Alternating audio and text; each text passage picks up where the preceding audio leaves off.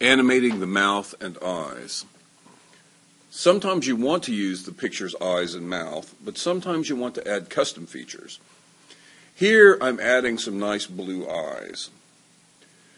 The eyes have a number of different settings you can change, and they will look more dynamic when your character blinks or looks to the side than using the image's eyes. The same goes for the mouth.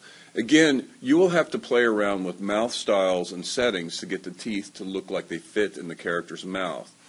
This will require a little trial and error, certainly, but you do want to get them to fit as much as possible.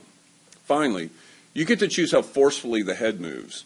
In my experience, cranking the head motion strength 100% is sometimes not a good idea. There's too much distortion of the image when the head twists violently. You also get to choose the idle motion, which is what your character will express by default when not speaking or acting according to another emotive. Again, you will need to preview these settings before moving forward. Thankfully, you can always go back to the menus and change the settings if you find that something doesn't look quite right.